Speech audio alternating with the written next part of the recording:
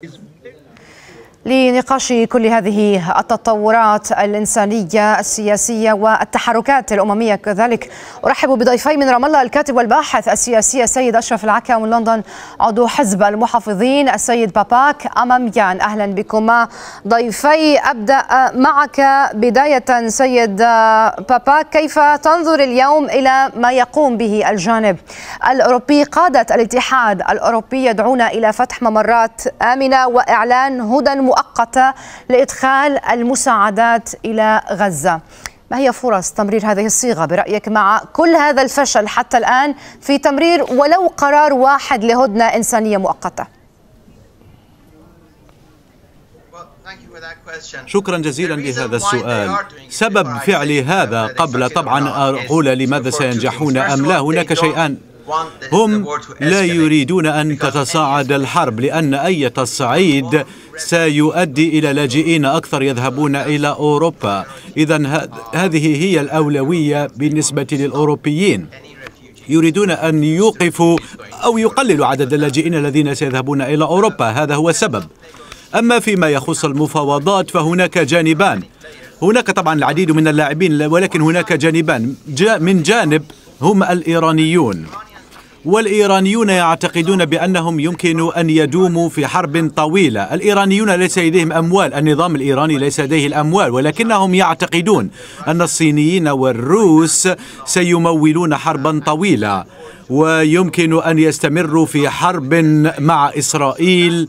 آه هذه هي عقليتهم. أنا لا أقول بأنهم مصيبون في ذلك. ومن جانب آخر هناك الإسرائيليون الذين أيضا لا يمكن أن يظهروا ضعفاء. فطبعا حدثت انتكاسة كبيرة لهم فيما يخص الأمن في السابع من أكتوبر.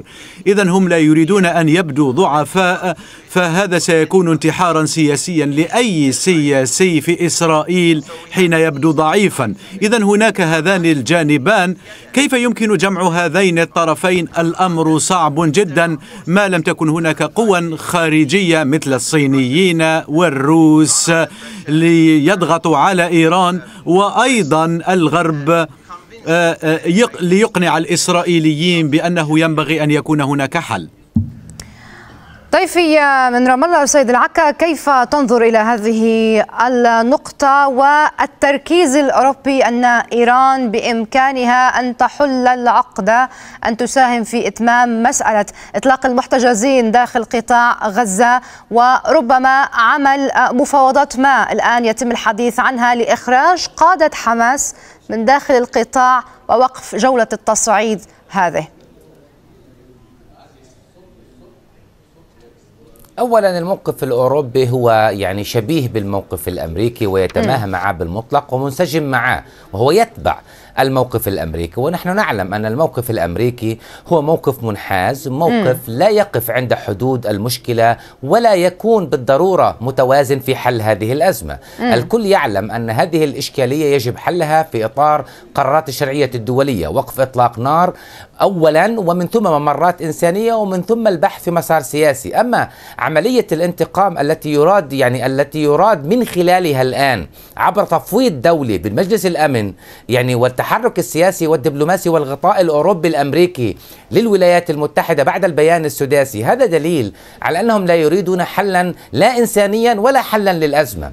يعني المطلوب الآن هو التضحية بقطاع غزة ومن ثم نذهب في الحلول الأخرى. هذه هي الإشكالية. ودعيني أقول أن موقف الاتحاد الأوروبي عاجز عن اتخاذ يعني مواقف سياسية مشتركة لأنه في هناك تباينات في داخل الموقف الأوروبي تبعا للانقسامات في الأحزاب والقوى السياسية. هناك النخب والنخب اليسارية التي التي الآن تعيش يعني أزمات أوروبا الداخلية وخوف انتقال هذا الصراع إلى أوروبا. أضف إلى ذلك يعني يعني الحرب الطويلة الآن في أوكرانيا. التي تدور عمليا على أرض أوروبا والعداء لروسيا. هذه إشكاليتهم الحقيقية. أضف إلى ذلك يعني ال اليمين واليمين المتشدد في أوروبا مم. الذي كان متهما دائما بالعداء يعني بمعاداة السامية الآن يريد أن يثبت نفسه أنه يدعم إسرائيل ويدعم الولايات المتحدة والمسألة الفلسطينية لم تعد تعني المجتمع الأوروبي رغم الانقسام في داخل المجتمعات الأوروبية ما يعكس نفسه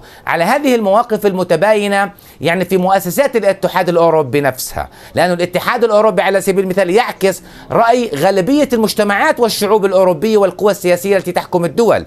ولكن المفوضية ومجلس أوروبا عمليا يأخذ قرارات بناء على اعتبارات سياسية حاكمة مرتبطة ومرتهنة عمليا بالمواقف الأمريكية. ما يحتاجه الآن الآن العالم مقاربة مختلفة تطبيق قوانين الحرب وقواعد القانون الدولي. هذا لا يحتاج إلى نقاش ولا جدل, ولا جدل. لأن ما يجري الآن هو عملية تهميش وإفشال كل الآليات الدولية وإفشال يعني المنظمة التي ترعى والحاضنة لكل المجتمع الدولي الآن. العالم الآن بمؤسساته ينهار أمام هذه الأزمة وأمام تلك الجريمة المرتكبة بحق أبناء الشعب الفلسطيني في قطاع غزة. سيد أماميان كيف ترد على ذلك بحسب ضيفي سيد العكا الآن اليمين المتطرف في أوروبا يبدو أنه وجد في تصعيد قطاع غزة فرصة للتنصل من كل الاتهامات القديمة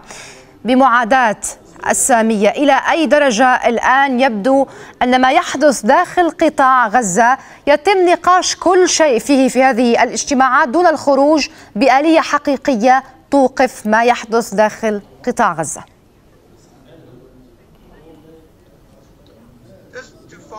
فقط لأتبع ما قاله ضيفك السيد العكا نعم أتفق معه على بعض النقاط ولكن لننظر إلى ما يحدث على الأرض. فهناك اللاعب الأكبر هم الإسرائيليون. ما يحاولون أن يوقفوه هو أن حماس لا يمكن أن تحمي مثلا سكان غزة أو تحكمهم. هذا ما يريدون قوله بأن حماس لا يستطيعون حمايتهم أو مساعدتهم. إذا ولن يكونوا في السلطة نتيجة لذلك. والإسرائيليون يقولون بأن النظام الإيراني لا يمكن أن يساعد شعب غزة ولا يمكن أن يحميهم أيضا. آه، فيمكن أن يتحدثوا ويقدموا وعودا ولكن فقط كلمات وكلمات. الإسرائيليون هذا ما يحاولون فعله لإقناع سكان غزة بأنه لا حماس ولا غزه ولا إيران يمكن أن يساعدوهم. هذا اولا. أما من الجانب الأوروبي فيريدون أن يقولوا لسكان غزة بأنهم ليسوا لوحدهم. الأوروبيون يريدون مساعدتهم. لا ينبغي أن يظنوا بأن إيران هي صديقهم الوحيد فهم لهم أصدقاء في دول أخرى واوروبا تفهم مشكلتهم ولكن اسمح لي سيد أماميان يعني كيف يمكن إثبات إخلاص النوايا الأوروبية هذه بالنسبة للمدنيين في قطاع غزة؟ إن كان الجانب الأوروبي ما زال يتحدث عن أنه سيبحث مسألة تسريع وتيرة إدخال المساعدات ولا حديث حتى الآن عن بحث وقف إطلاق النار. شكرا لهذا السؤال. ما قلته من قبل هو أنهم يحاولون إقناع الإسرائيليين ليسمحوا لتلك المساعدات الإنسانية أن تدخل إلى غزة وهم يقولون من جانب آخر فلهذا نحن إلى جانبكم. نحن نحاول إقناع سكان غزة بأنهم ليسوا لوحدهم وإلا فإن إيران ستلعب دور الصديق لهم ثم يمكن أن تملي عليهم ما تريد أن يفعلوه. آه، هم لا يريدون لسكان غزة أن يصبحوا وكلاء لإيران. سيد أشرف الآن يبدو أن هنالك اشتباك في التوصيفات وهو ما يعرقل أي اصطفافات لمصلحة الغزيين. الآن حماس تقدم نفسها بأنها هي قطاع غزة هي القضية الفلسطينية. هل يمكن القول الآن أن هذا الوصف هذا الارتماء الكامل في الحضن الإيراني إن صح التعبير والقول الآن أصبح ليس لمصلحة الغزيين بل يعرقل أي اصطفافات يمكن أن تدفع بحلول يمكن أن تعجل من إدخال المساعدات وربما حتى إقرار وقف إطلاق النار يعني اولا يعني الدعاية السياسية في هذه الحرب م. تأخذ يعني منحنى وسردية غريبة عجيبة يعني لا حماس تقول أنها تمثل كل قطاع غزة ولا يعني الشعب الفلسطيني يقول إنه يعني آه، غزة آه، كلها حماس. م. الموضوع ليس هكذا. الموضوع أن هناك صراعا مع هذا الاحتلال هذا الصراع يجب أن يأخذ طابع الحل. هذا الطابع يجب أن يكون في إطار رؤية يعني آه، آه، عالمية شاملة للحقوق الوطنية المشروعة للشعب الفلسطيني. وأن ما جرى في قطاع غزة نتيجة للحصار والدمار والسياسات الغربية الأمريكية الإسرائيلية العنصرية التي لم تراكم حلا عادلا للشعب الفلسطيني على مدى عقود من الزمن. هذا هو التوصيف الحقيقي. وبفعل هذه الحرب إسرائيل تمارس كل أنواع كل أنواع يعني يعني الجرائم بحق الشعب الفلسطيني دون اكتراث للمدنيين. هذا لا يمكن أن يحدث. هذا لا يمكن يعني بالطبيعة وبالمنطق هناك حروب. يعني كمان أحكي لك شغله وبشكل واضح. في ستينيات القرن الماضي في العاب يعني في حرب ال 53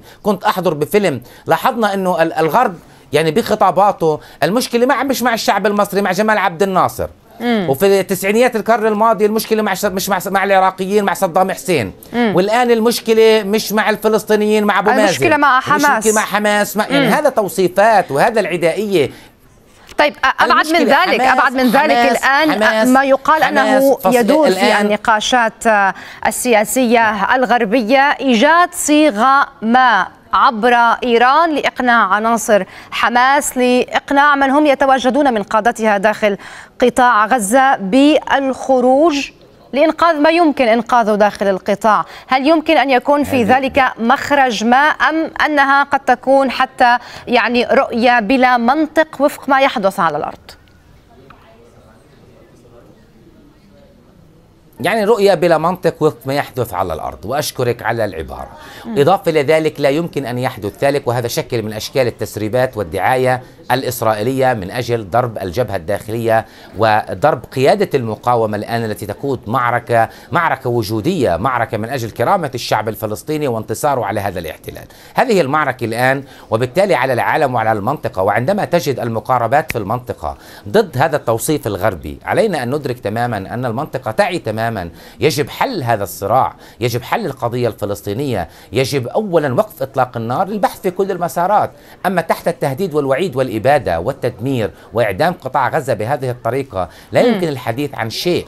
الإسرائيل والولايات المتحدة والغرب يريد يريد بالضرورة أن تتخلى المنطقة والعالم عن حركة حماس وعن قطاع غزة وإبادة القطاع آه، وتفويض إسرائيل بذلك. هذا ما يجري الآن. هذا هو التوصيف الحقيقي. لا يبحثون عن حل. أنا بتقديري وقف إطلاق النار لوحده. يستطيع أن يأتي بالحقوق والمطالب لكل الأطراف.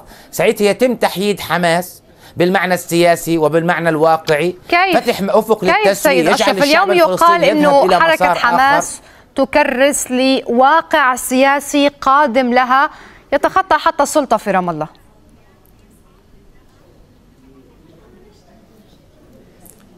إذا إذا ما فرضت عليها هذه المعركة. وعبرت عن نضالات الشعب الفلسطيني وطموحات الشعب الفلسطيني ودعيني أقول وبعيدا عن المجاملات. يعني سواء نتفق مع هذا الأسلوب أو لا نتفق وأنا أتفق مع برنامج منظمة التحرير بالمعنى الشخصي ولكن بالمعنى. المنطقي الشعب الفلسطيني يريد الانعتاق من هذا الاحتلال عبر الكفاح المسلح وعبر أرقى أشكال النضال التي كفلتها له الشرعية الدولية الشعب الفلسطيني الآن في غالبيته نعمل استطلاع للرأي مم. ونسأل الشعب الفلسطيني فردا فردا يريد أن يخلص أن تخلص من هذا الاحتلال بأي طريقة كانت مم. وعبر مسار التسوية وإحباط الناس وإحباط القيادة الفلسطينية وإفشال كل الجهود لدعم عمليات السلام آخرها شرم الشيخ والعقبة مم. لوقف إجرام المستوطنين بحق أبناء الشعب الفلسطيني في الضفة الغربية وحرق البيوت والأطفال الشعب الفلسطيني سيأخذ زمام المبادرة لأنه يريد الانعتاق والتحرر والوصول إلى دولة كاملة السياسة السيادة وبالتالي سيذهب وراء حماس و... وأبشع من حماس ب... بين مزدوجين. إذا لم يعطينا العالم الحلول لأنه التهديد بالتهجير والحصار وفقدان الأمل بالمستقبل ما يدفع الناس للبحث عن سبيل وعن خلاص. دعيني أقول لك شيئا لا, لا يتم الحديث عنه بالإعلام. تفضل. أبنائنا أبنائنا الذين لم يعيشوا تجارب الحركة الوطنية الفلسطينية والثورة. تع يعني اسم تعالوا اسمعوهم شو بيحكوا. بدهم يثوروا على هذا الواقع. مم. عندما يروا هذا الدم وهذه الجرائم لا نستطيع أن نهدئ من روعهم. وكيف نكون لهم آبائهم نعم ونؤمن حياتهم. بيبطلوا يخافوا من المستقبل وبيشوفوا هالقتل والدمار. مم. هذا الذي يجب أن يقرأ. هذا العالم يعني الذي لا يرى ولا يسمع ولا يتكلم إلا بعين إسرائيل والولايات المتحدة عليه نعم. أن يفهم أن هناك جيلا فلسطينيا يريد الحرية والاستقلال ويريد أن ينطلق هذه المقاربات وهذه اللغة السياسية والديماغوجيا لا تفيدهم لا تفيد الأجيال جميعا نعم. في المستقبل حتى أشرف. إسرائيل إذا أردت أن تعيش بأمن وسلام عليها أن تسلم بحقوق الشعب الفلسطيني سيد أماميان التسريبات الأوروبية تقول الآن أن إسرائيل ستنظر إدخال الوقود حال إطلاق المحتجزين من داخل قطاع غزة يعني هذا الطرح ولو هو من أسوأ الطروح الآن ربط المسائل الإنسانية بمساومات سياسية معقدة ولكن هل توجد فرص حقيقية لتمريره وعبر أي وساطة من وجهة النظر الأوروبية؟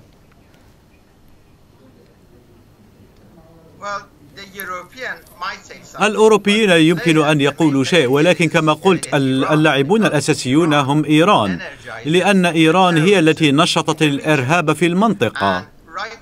والآن أنا لا أود أن أتحدث عن قضية عن القضية الفلسطينية ولكن أود أن أقول بأن إيران لا تكترث بالفلسطينيين.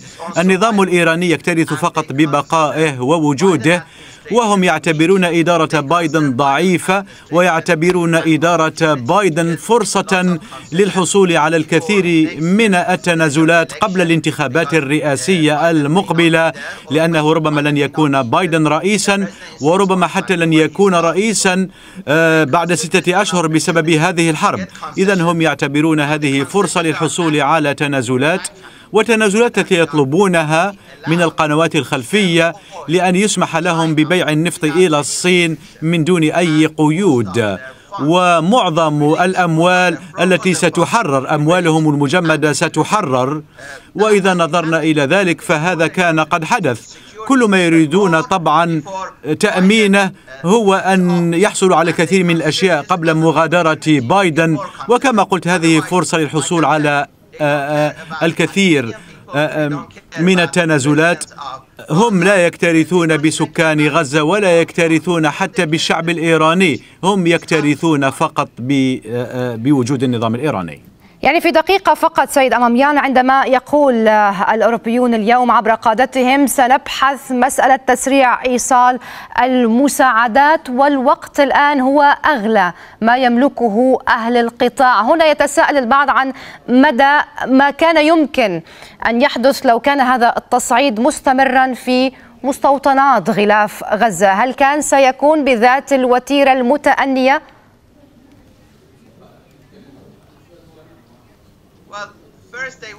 قبل كل شيء هم يريدون أن يعطوا املا لسكان غزة بأن هناك اشخاصا يكترثون لهم وهذا مهم جدا. الأمر الثاني هو أنهم يأملون بأنهم يمكن أن يقنعوا الحكومة الإسرائيلية بأن تقدم تنازلات على هذا المستوى وأيضا للضغط على لاعبين آخرين وعلى ليضغطوا على إيران حتى تبقى إيران فقط في حدودها. يعني ونعود للمساومات السياسية المعقدة على حساب الأوضاع الإنسانية المتردية، على كل حال شكرا جزيلا لكما ضيفي من لندن عضو حزب المحافظين السيد باباك أماميان وأيضا لضيفي من رام الله الكاتب والباحث السياسي السيد أشرف العكا على كل هذه الايضاحات.